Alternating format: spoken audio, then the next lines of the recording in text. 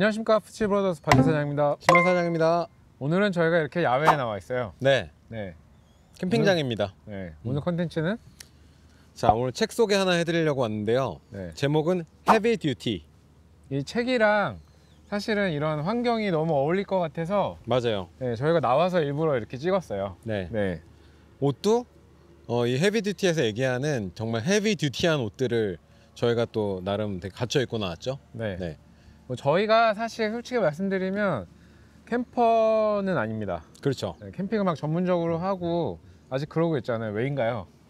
어, 저희의 그런 장비병적인 성향을 봤을 때 캠핑을 시작했다가는 난리 어, 나지. 여태까지 샀던 그런 물건에 곱절이 되는 거를 살 것 같다는 생각. 요즘에 최근에 저희가 이 헤비듀티라는 책이 한국에 나와 있는지를 모르고 있었어. 음, 솔직히 말씀드리면 솔직하게 신발 사장이 이걸 발견을 한 거예요.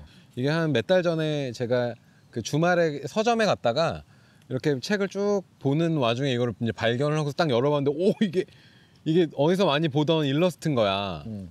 이게 이건 사실 우리가 잡지에서 많이 봤잖아요 예전에. 음, 2018년도에 이 책이 한국에 나왔더라고요. 네. 근데 어마어마하게 놀라운 거는 맨 위에 써 있는 First Edition was published in Japan 아, 1977년에 음. 네. 이게 무려 1977년에 나온 책이에요. 맞아요. 네, 그게 2013년도에 일본에서 다시 재발간이 되고 음. 그게 이제 2018년도에 번역이 돼서 나왔어요. 이게 어떻게 보면 그냥 보시면은 좀 왜 이런 책을 굳이 쓰고 이런 책을 굳이 읽어서 뭐 하려고 라고 그런 생각을 하실 수도 있어요. 지금에 와서 지금의 지금 현재 이거를 보시면은 왜냐면 되게 되게 뭔가 좀 유치한 것 같은 되게 엉- 엉성하게 그린 이런 일러스트랑 그냥 안에 빼곡하게 브랜드 소개서 같은 느낌? 그래서 이거 지금 77년도 버전을 지금 와서 왜? 라는 생각을 하실 수가 있는데 어, 여러분들이 음, 이거는 패션으로서의 얘기보다는 물건으로서의 얘기입니다. 그래서 이 물건을 어, 얼마나 잘 만들고 어떤 계기로 만들어지고 이런 그 뒤에 있는 스토리나 혹은 역사들에 관심이 좀 있으시거나 아니면 내가 이런 outdoor life를 즐기시는 분들이라면 어, 이런 내용은 한 번쯤은 좀 보시고 이제 살면 좋겠다 이런 생각이 들어서 이건 꼭 소개를 하고 싶었습니다. 이게 그냥 또 단순히 기어에 대한 얘기뿐만이 아니라 그거의 이제 background에 있는 컬처에 대한 얘기예요. 문화. 그죠? 결국에는 culture죠. 네, lifestyle. Outdoor life style을 즐기는 음, 음, 거에 대한 컬처에 대한 얘기거든요. 맞아요, 이게, 맞아요. 이게 1977년도에 나온 건데 음, 그 당시로서는 이게 굉장히 획기적인 새로운 트렌드였거든. 음. 네, 막 이제 막 벌어지고 있는 음. 새로운 outdoor lifestyle 트렌드를 소개시켜주고 싶어서 이 사람이 이 글을 쓴 거예요. 맞아요. 일본에다가. 여기 보면은 이 책이 나와 이 책을 썼을 당시만 해도 미국에 사실은 이런 등산하거나 이런 문화가 많이 없었다 그래요. 그렇지. 네. 이게 등산 아웃도어 문화가 사실은 유럽에서 시작이 된 거고 음.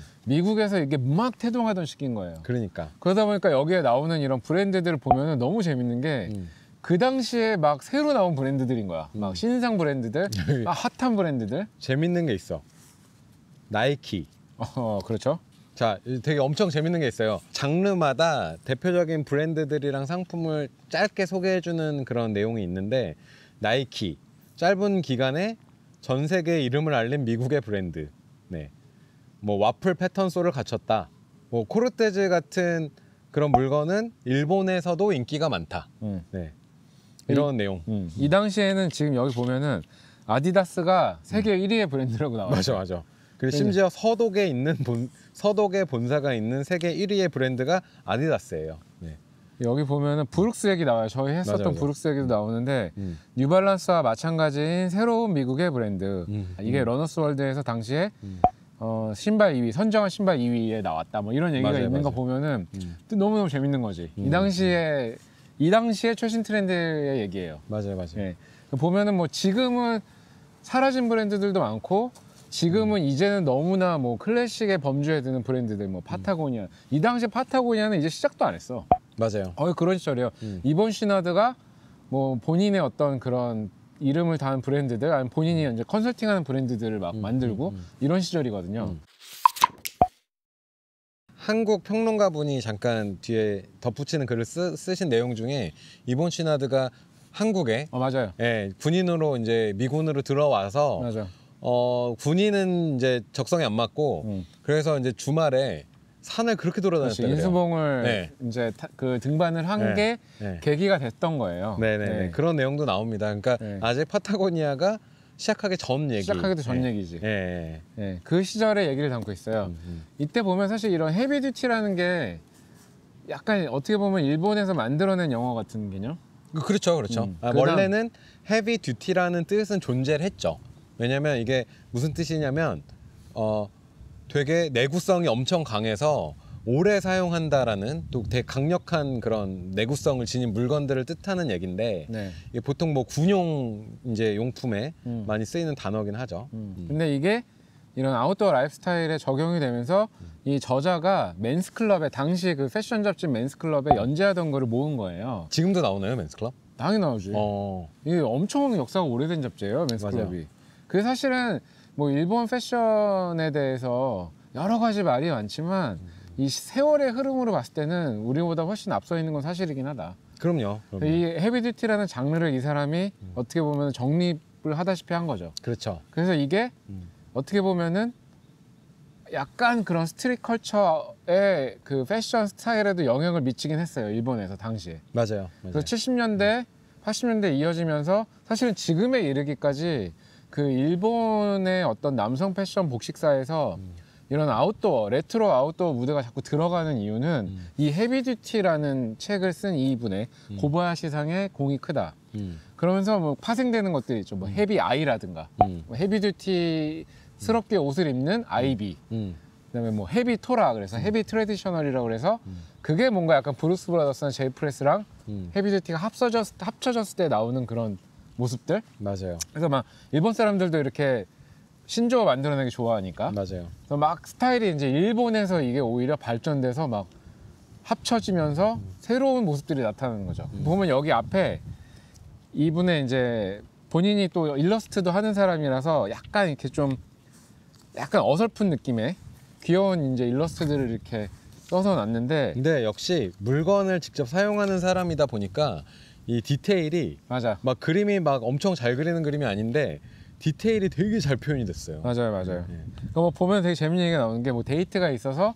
음. buffalo check의 셔츠를 입었다. 음. 뭐 거기에 mountain parka, 6040 mountain parka를 뭐 걸치고 입고 나왔다. 음. 뭐 이런 얘기 있는 거 보면은 그 당시로서는 이게 되게 나름 뭐 이렇게 hip한 그렇죠 look이었던 거지. 그러니까 네. 보면 되게 재밌어요. 근데 지금도 여기 이런 내용 너무 재밌는 내용이 사실은 많아요. 이건 되게 소개해드리고 싶은 내용이 꽤 많은데 이 어, 사실은 어떻게 입고 어떻게 styling을 하고 이런 얘기 절대 아니에요. 그냥 이거는 하나의 gear로서 용품으로서 그냥 그 lifestyle에 맞게 이거를 사용하는 사람에 대한 얘기, 그들의 라이프 스타일 그리고 그들의 정신. 그, 그러기 때문에 마음가짐 같은 게 되게 중요하다고 항상 나와요. 음, 여기 나오잖아. 여기 보면 추운 날에는 모자를 쓰고 바람을 등지고 걷는다. 이렇게 겨울에도 heavy duty를 즐긴다. 그러니까 추우면 training shoes를 신고 운동장을 몇 바퀴 돌아본다. 그래도 춥다면 친구와 원반 날리기를 해보자. 그러니까. 웃기잖아. 어. 그냥 웃긴 거지. 그러니까 이게 이런 뭐랄까 이 어, heavy heavy duty한 사람들은 어, 인생이 약간 스포츠가 항상 섞여 있고 음. 이런 뭔가 이렇게 견뎌내고 자기가 다 해결하는 그런 사람이기 때문에 어, 항상 웬만하면 반바지를 입고 산다. 음, 그렇죠. 항상 겨울에도 스포티하다. 반바지다. 음, 음, 뭐 이런 얘기도 있고. 음, 이 당시에 보면 이제 저희 그 아웃도어 하시는 분들은 뭐 되게 전설 같은 그런 음. 브랜드들 있잖아요. 제품이나 그런 얘기들이 그 당시에 사실은 현행 제품으로서 사용되던 얘기가 나옵니다. 뭐 맞아요. 젠센의 이런 백팩 시스템에 대한 얘기라든가 음, 예, 이런 것도 뭐 어떻게 이 backpack을 싸면 효율적인가에 대한 얘기들이 나오고 음. 지금의 backpack하고는 너무 차원이 다른 얘기긴 하지만 음. 지금도 근데 이 젠센의 backpack에 대해서는 respect하는 분들이 되게 많으세요. 음. 그 정도로 되게 systematic하게 잘 만들어진 backpack인데 음. 이런 얘기들이 여기 다 들어 있어. 근데 지금 이걸 지금에 와서도 읽어보면 결국 요즘에 그 하이 퍼포먼스 아웃도어의 어떤 어- apparel gear를 쓰고 사용하고 즐기는 그런 lifestyle하고 결국은 일맥상통하는 거 아닌가? 그럼요. 똑같아요. 네네. 너무 다를 게 없어. 이게 이제 layer system이라고 그래서 뭐 요즘에 아웃도어 하시는 분들은 너무 당연하게 입는 옷을 입는 방식이거든요. 음, under layer 입고 mid layer로 보온성 방한성을 하고 겉에 이제 shell로 뭐 바람을 막는다든지 비를 막는다든지 음. 근데 그 layer system에 대한 개념이 이본 슈나드가 그 당시에 뭐 정립을 시켰다 뭐 이런 얘기가 나오거든요. 음, 근데 사실은 이때는 그게 아직 없는 시대인 거야 심지어 음, 음. 그런 것도. 근데 이제 이런 lifestyle을 이들이 그 당시에 그 당시에 소재로 하다 보니까 그런 어떤 개념을 만들어내게 된 거죠. 음, 음. 그게 이제 현재의 아웃도어 퍼포먼스 웨어에 영향을 미친 거고. 맞아요.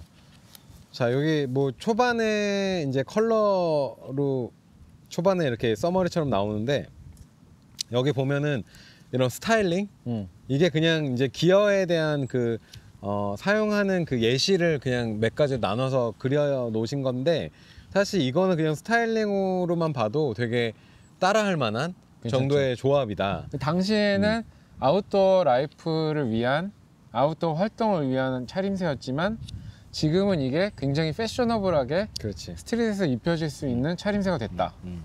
네, 저, 진짜 저대로 입으면 되게 나름 retro하고 멋있어요. 음. 또 요즘 느낌의 어떤 그런 복고풍의 retro한 Ivy가 지금 약간 돌아오고 있는데 음. 약간 sporty한 Ivy 개념 그런 거죠. 음. 네, outdoor적인 Ivy 개념. 이게 저희가 지난번에 소개해드린 그 아메토라 얘기랑 이제 사실은 뗄래야 뗄 수가 없는데 맞아요. 이게 어, 제 생각에는 그런 것 같아요. 이게 음, Ivy라는 그런 복식의 현, 형태를 일본에서 하나의 트렌드로 만들어냈다.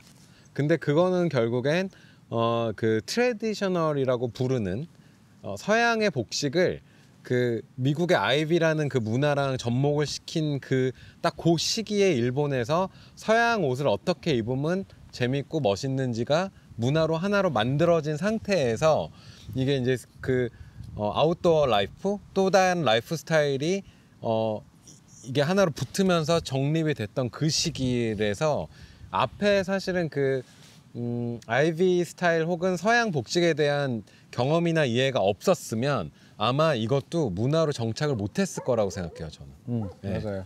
그런 내용들 그리고 뭐 그냥 요즘 분들이 봤을 때 되게 헐 이랬어라는 정도의 아까 얘기한 나이키 이야기, 그렇죠. 뭐 아디다스 이야기, 어, 뭐 아식스 이야기 그리고 뭐 뭐 노스페이스니 뭐 잔스포츠니 다 나옵니다. 홀루바 이런 네, 것들. 홀루바 저희가 입고 있는 사실 이런 음. 6040 mountain parka 얘기는 주구장창 나와요. 맞아요. 그 당시에는 사실 고어텍스 같은 기술이었거든 이게. 그렇지 그렇지 네. 그렇지. 이거 보세요. 이거 정말 음. 남성 복식, 뭐 클래식 좋아하시는 분들도 재밌고 지금 outdoor life 즐기시는 분들도 너무 너무 재밌게 보실 수 있는 책입니다. 네. 이 책을 꼭 강추하는 이유는 어, 사실은 아이템이나 스타일에 대한 얘기가 아니라는 점. 그 heavy duty life 쉽게 얘기하면은 어, 좋은 물건을 오랫동안 잘 쓰면서 어, 자연과 벗하면서 이제 즐겁게 살아가는 마음가짐이 되게 중요하다. 음, 활동적으로 살아라. 음, 건강하게 살아라. 음. 이런 내용이 담긴 내용이기 때문에 저는 그런 정신을 좀, 좀 이렇게 느껴보셨으면 좋겠다. 네. 어, 네. 헤비 듀티한 라이프를 즐기셨으면 좋겠습니다. 네. 네. 밥 먹읍시다. 네. 그만합시다. 여기까지 할게요. 옆에서 다 기다리고 계셔가지고. 네. 알겠습니다. 저는 이만 여기서 갈게요. 안녕.